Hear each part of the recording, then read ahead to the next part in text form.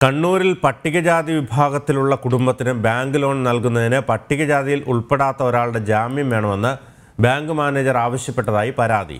ധർമ്മശാല സ്വദേശി പി സുമേഷും കുടുംബവുമാണ് കേരള ഗ്രാമീൺ ബാങ്കിനെതിരെ പരാതിയുമായി രംഗത്തെത്തിയത്.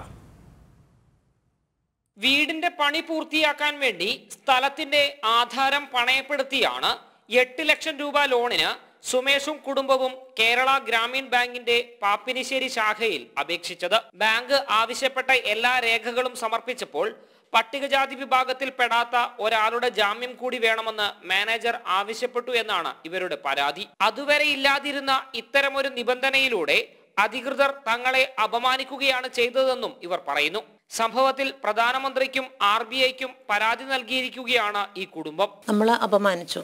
കാസ്റ്റിന്റെ പേരിൽ അപമാനിച്ചു. പിന്നെ മാനസികമായിട്ട് അത് വല്ലാത്തൊരു ബുദ്ധിമുട്ടും വിഷമമായിരുന്നു എന്ന് വെച്ചാൽ ഒരു ലോണിന് പോവുക പോയിട്ട് പിന്നെ നോൺ എസ്റ്റ് വേണമെന്ന് പറയുക ബാങ്ക് മാനേജർ പിന്നെ നമ്മുടെ കാസ്റ്റ് അറിയുന്നത് വരെ നല്ലൊരു നല്ലൊരു പെരുമാറ്റം ഒരു അങ്ങനെ കുറ്റപ്പെടുത്തുന്ന ഒരു ഒരു ഇതും അവരുടെ ഭാഗത്തുനിന്ന് കണ്ടിട്ടില്ല.